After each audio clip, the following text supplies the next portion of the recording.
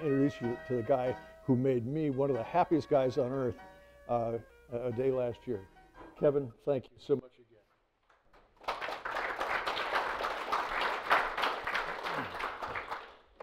Thank you. In um, July of 1969, Dan Luketa, who was the owner of the Western Flyer, saw Neil Armstrong walk on the moon. And soon after that, he decided to name, rename the Western Flyer the Gemini. Um,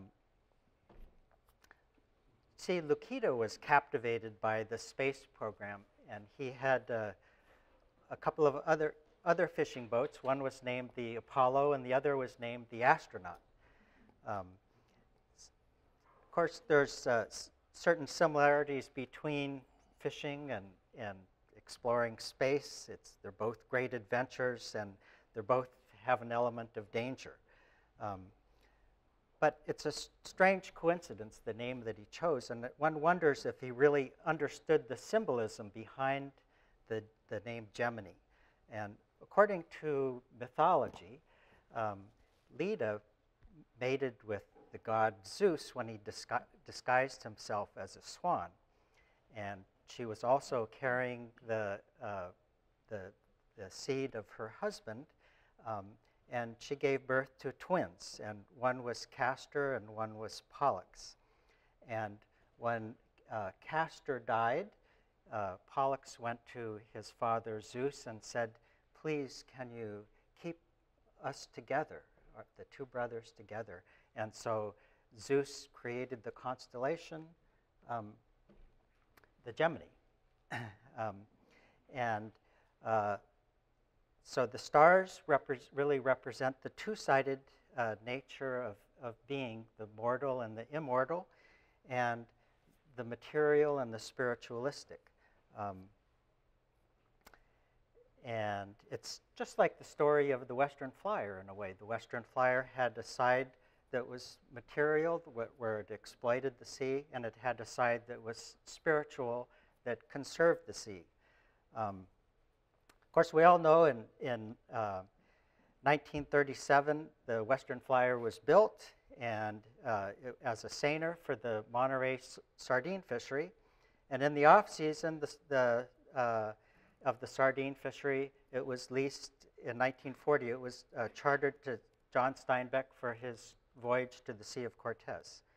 Um, I don't ne need to tell this audience um, that Steinbeck and Ricketts met in 1930, and Steinbeck was really a, a fledgling writer then.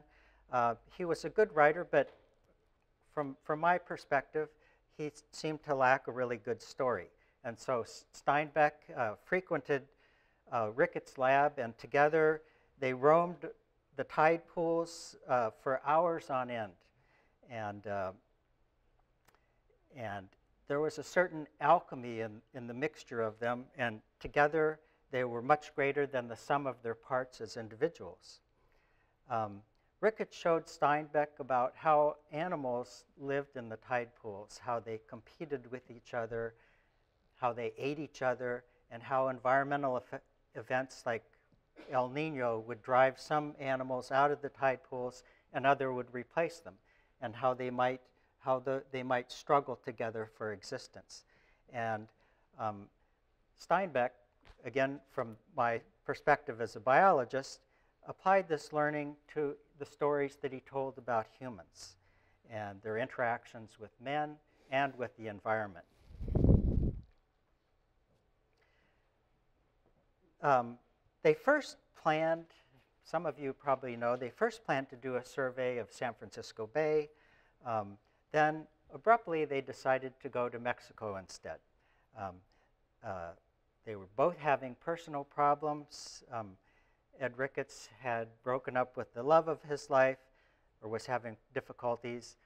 Steinbeck himself was having difficulties with his marriage and there was, was uh, the FBI was investigating him for certain political activities, and there was public outcry over his publication of The Grapes of Wrath.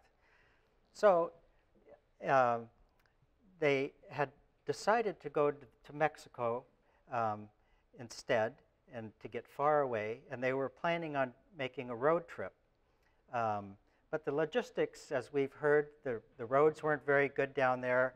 A lot of the places that they wanted to visit, there weren't any roads, and they were having difficulties with the logistics of chartering small boats in, in a lot of these villages. So they decided to lease the boat, uh, the Western Flyer, instead. So this cruise was uh, really an important landmark in, in, uh, because it was the last survey of the Sea of Cortez as it was on the cusp of change.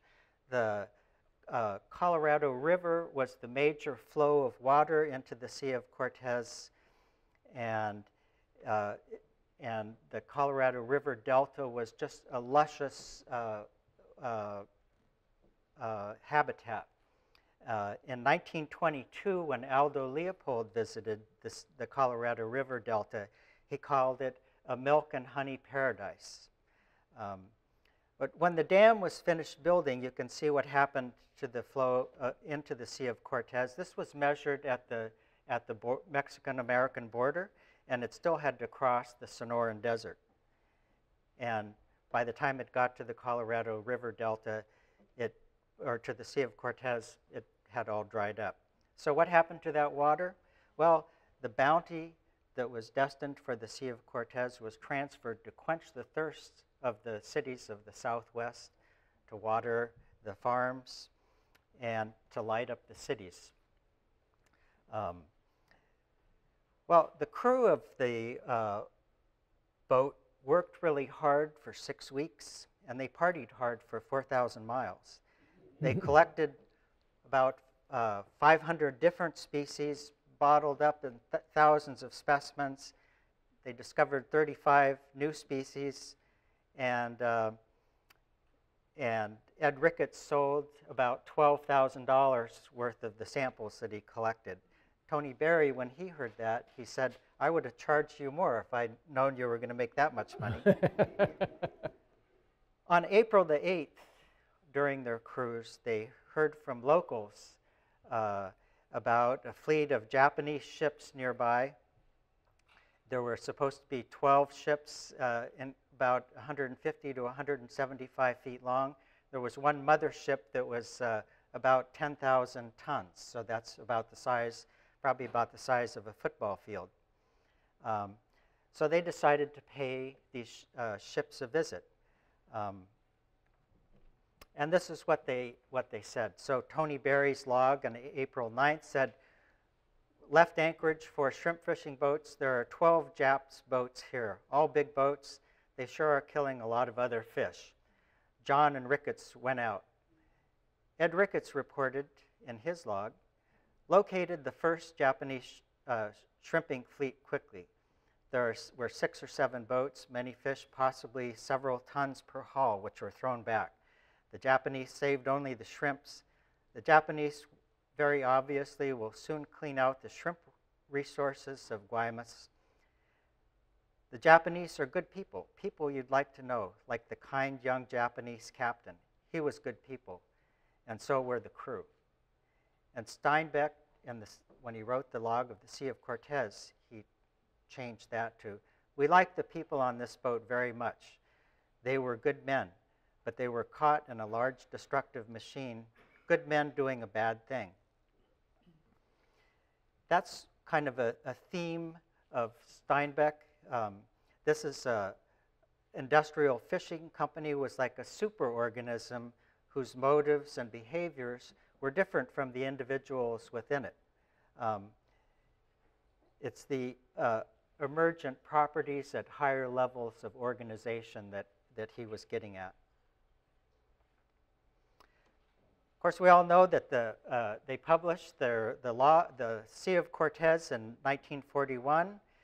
It was a, a, a log and a, accompanied by a catalog of species that they found at the end. It only sold 3,000 copies. Um, I used to laugh at that. 3,000 copies didn't, you know, seem like a ridiculous amount. Right now, I'm pretty jealous over, over selling that number. Um, there were the reviews of the book were very mixed. Uh, one reviewer said Steinbeck was sandwiched in between dread, uh, thousands of dreadful little animals. um, another said it was a Cioppino of travel, philosophy, and biology. Um, but many, most people now consider it uh, one of Steinbeck's best books. And they were trying to accomplish a huge and maybe uh, impossible task, which was to marry philosophy and biology in some kind of unified theory. And they wrote of, of the book, this trip had dimension and tone. It was a thing whose boundaries seeped through itself and beyond into some time and space that was more than all the gulf and more than all our lives. Our fingers turned over the stones and we saw life that was like our own life. Steinbeck and Ricketts even compared their voyage to that of Darwin on the Beagle. They thought it was that important. After the Sea of Cortez, the flyer returned to Monterey Bay to fish for sardines. In the 1940s, everything in the sardine fishery was pretty rosy. Boats and canneries were being built, and Ricketts said the canneries were increasing just like predators. They were following the abundance of sardines, multiplying and spreading up the coast. Um, the first canneries were built in the early 1900s. By 1917, there were 30. And by 1944, there were 75.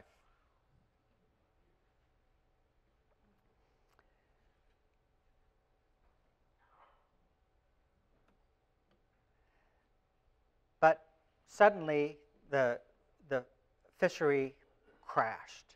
And right up until the end, people denied that the crash was happening. Um, the fishermen and industry owners were opposing any kind of regulations. Anecdotally, there were still plenty of fish out there. In September of 1945, the biggest ever single day landing of sardines was landed in, it was recorded in Monterey at 9,000 tons. And, but by December, three months later, the fish were gone. Experience has shown that it's hard for fishermen as well as biologists to tell when we're in the midst of a collapse. And some claim that the sardines just moved. This is really similar, quite similar to a story that's happening right now on the east coast with the collapse of the Atlantic cod. Fishermen are still claiming that there's still plenty of cod out there. They've just learned how to hide better. Um, let's see, I think I missed a slide here. Ah, no. So the cannery owner, Knut Hovden, which is now where the aquarium's uh, located, he owned that cannery, um, said that experience has shown us that the abrupt total disappearance of sardines is not a sign of overfishing.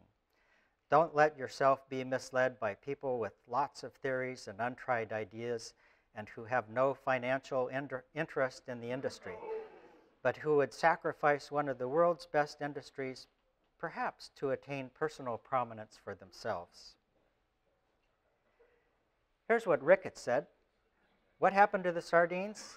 In the same year, 1947, Ricketts said, they're all in cans. But we mustn't regard overfishing as the sole factor in the present disaster, although it's the only one over which we have any control. Ricketts had a really pretty complicated uh, explanation for what happened to the sardines. Ultimately, it boiled down to removing the large fish from the, from the population. So he felt that the larger fish would compete with the smaller fish in their main habitat, and the larger fish would leave the habitat and go up to the coast of Oregon and Washington and feed up there, which had a second, a later plankton bloom. So in effect, they had two different, they, uh, they had an extra ration of fish. That would fuel a great reproduction of the fish, and so when they'd come back down and spawn, they, they would uh, produce a lot of eggs. So when the fishery removed those fish from the population, they were, weren't getting that extra ration of fish, and it was just the younger fish that stayed down in the central coast that were responsible for reproducing. Um, it was a very typical Ricketts explanation. It was holistic, little complicated, and had a little bit of uh, mysticism in it. Um, Steinbeck wrote in Sweet Thursday the canneries themselves fought the war by getting the limit taken off the fish and catching them all. It was done for patriotic reasons, given it was in the war, but that didn't bring the fish back. It was the same noble impulse that stripped the forest of the West and right now is pumping water out of California's earth faster than it can rain back in. When the desert comes, people will be sad, just as Cannery Row was sad when all the pilchards were caught, canned, and eaten. Oscar Seti, who was the czar, the sardine czar during World War II, was uh, complained that the he was compelled to increase the limits on sardines by pressure put on him from the industry and the military. And um, it was a national concern. And he said the industry used their clout to limit laws and to block effective conservation legislation. And scientists were also to blame. Um, and they, the scientists were always optimistic, as we often are, and in 1950, the Herald reported a report uh, from scientists saying, fish in 50 is the promise of scientists. Then again in 1951, scientists reported in the Herald that a substantial recovery of the sardines is taking place. Of course, it didn't take place. Um, the last sardines concentrated in San Pedro in, and uh, in 1968, a, uh, they started using spotter planes to find the sardine schools, and in, 19, in that year, one fisherman reported that he'd found one large school, and he said uh, that in one night we caught them all. The boat was sold in 1948, and it moved up the coast. Um, it was now outfitted as a, as a trawler and began trawling the bottom for Pacific Ocean perch, petrale sole, and cod. This was a really growing, the trawl industry was really growing. Um, one day, Dan Luketa, who was the owner of the boat at that time, stood on the bridge, on the flying bridge of the Western trawler as it hauled up a big load of Pacific Ocean perch as the legend goes, um, Pacific Ocean perch are a very spiny fish with an orange color. And when you bring them up to the surface from the, from the bottom, uh, the, their gas bladder expands from the decreasing pressure and it just balloons out, and their eyes pop out, and their stomach often pops out of their stomach. So when you bring a big load of Pacific Ocean perch up from the bottom, the net leaps out of the water like a breaching whale.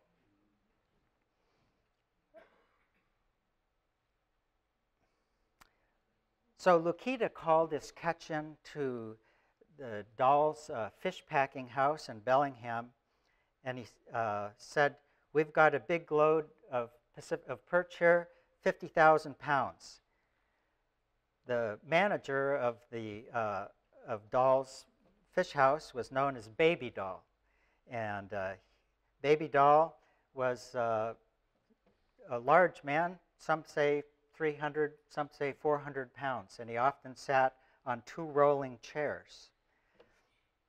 Um, so Baby Doll said, well, uh, we've got a glut of Pacific Ocean perch on the line right now. We can't use them. If you're going to bring them in, we're going to sell them for as mink food for a penny a pound. Dan Luketa said, dang, that's a, just a waste. Um, it takes, he figured that take him two days to run in and back, and so it just wasn't worth it.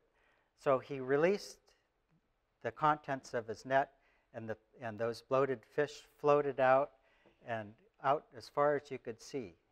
and covered the horizon in a sea of red.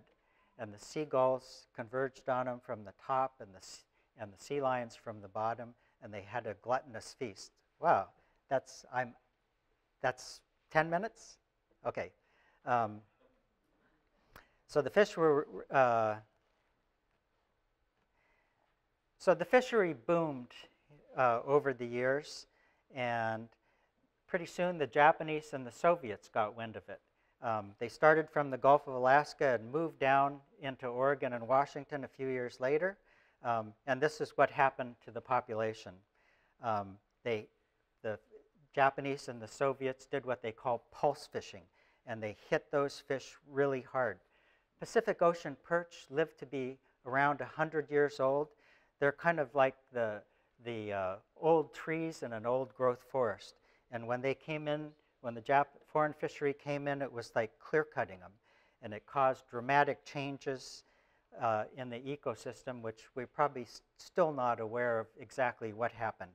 Um, Luketa saw the danger coming, and he bailed out of the fishery before, it before the collapse actually occurred. In 1962 and 63, Luketa did trawl surveys for the International Pacific Halibut Commission, who was interested in the impacts of these foreign fisheries on the halibut resource in the Gulf of Alaska. The interesting thing was Luketa saw all of the abundance of crabs up in the in the Aleutian Islands, and he got really interested in fishing them. And he heard that there were a few fishermen up there fishing for crabs, and um, that they were making a lot of money. So he outfitted the boat uh, as a crabber and headed on up to the Aleutian Islands. Um, so it was a calm day in the Bering Sea, and Jackie Ray was the skipper of the Western Flyer. Um, Jackie Ray was a quiet man, but he had this really intimidating side to him. Um, he often served uh, Canadian Club whiskey uh, with tobacco juice in it for breakfast. And once he was, uh, was told, I was told that he poured hot coffee into one of his crew members' boats, boots just to get a, a rise. And he scared the living daylight out of his crew. But his distinguishing characteristic was his iron claw. He was born in Connecticut, and he worked as a young man, worked on a trawler, and he got his hand caught in between the, the a wire as it was coming up and, and, and the trawl reel, and it cut through his wrist like it was butter. Um, and the doctors replaced his hand with an iron claw. Anyway, Jackie was a fairly nasty little guy, um, and they said he got crazy when he got, would be drinking. And one Norwegian fisherman told me, that Jackie Ray, he was a wild man. And if he got a hold of you with that iron claw, man, you were in real trouble. He could pinch your nose right off. Ray wasn't very popular with the crew. And on one morning, um, the crew was deploying the crab pots, and he didn't like the way they were deploying the, the pots over the side. And so he went out to tell them how to do it right. And he got, as he was putting a, showing him how to put a pot over the side, he got his claw caught in the netting of the trap. And he was being dragged towards, towards the side of the boat and desperately trying to free his, his claw. And he went over the side with the 700 pound uh, trap and went down to the bottom. There was panic on, on the deck for a few minutes, and finally somebody ran into the wheelhouse and turned the boat around. They got a grappling hook, threw it out, and gathered up the, the trap. And uh, as, as the trap was coming up, they looked over the side and expected to see Jackie Ray pop to the surface with a curse and a, and a gasp. Instead, they saw the, trap, the pot coming up slowly from the bo- emerging from the bottom, and Jackie Ray's pale form coming with it. And as they pulled the trap up out of the water, Jackie Ray came with it, and his, he was attached to the netting with his claw. But his waterlogged body was too heavy to support, for the claw to support him, and it, he, his body dropped in. So the only thing left was his claw. Well, there's a rumor that the claw is, is mounted um, over Kodiak or Dutch Harbor. And I, I've looked for it, and I, I've sent friends out looking for it as well. But Kodiak has become gentrified over the years. They run, because of the TV show The Deadliest Catch, they run cruise ships in there. So they've remodeled all those bars. My personal view of it now is that, that Jackie Ray's Claw is prob probably in a storage house someplace waiting for a reality TV show. well, here's what happened to the king crab and the Aleutians. Um, it's a similar picture that we've seen before. That second hump is they, they depleted the, the crabs in the one area that they were fishing, so they went out and looked for them in other areas. In 1961, there were four boats in the Aleutians. In 1970, there were 41. And in 1980, there were 41. Then it collapsed. Um, there's a, they say there's a bank after this collapse that instead of giving away, if you opened an account, instead of giving away toasters, they were giving away crab boats. so um, you'll notice that uh, Jackie, anyway, he, he bought a bigger boat so he could range out. The Western Flyer was too small for him at this point. He wanted more capacity, and he, he bought a bigger boat so he could range out farther and look for crabs farther away from port. Um, so there's similarities in these graphs. Um, you know, the crash, the increase is caused by an increasing number of fishermen, the discovery of the fish out there, and the development of skill. And the crash is caused by too many fishermen, a lack of resilience in, in the fish population, and one more predator that adds to the pr- pressure that the whole ecosystem is putting on those animals. Really can't blame the fishermen. Um, they didn't realize how many fish were out there. In fact, the government was telling us that at that point, and many scientists were saying, fisheries are unlimited. This, the fish, fish populations are going to feed the whole world. Of course, we know that now, in hindsight, that they, they didn't. Um, so anyway, now our West Coast fisheries are much better managed, uh, but it's important not to forget the past and to forget human nature as well.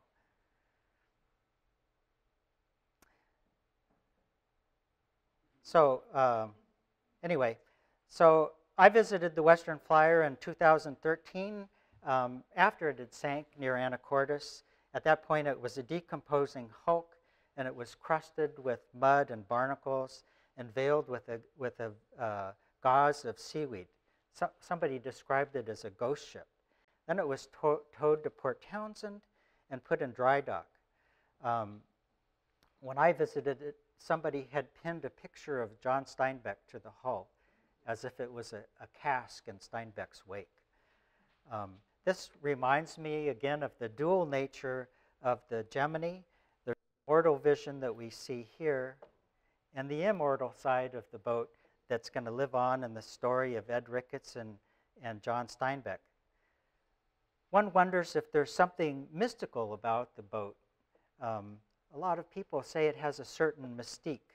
Um, and I came across a piece on, on mysticism, and an expert said that, that uh, in a mystical experience, um, you don't have the experience, the experience has you. And it reminds me of an Italian saying that goes, Abare e chiama e marinar. And that means the fisherman doesn't choose the boat, the boat chooses the fisherman. Thank you.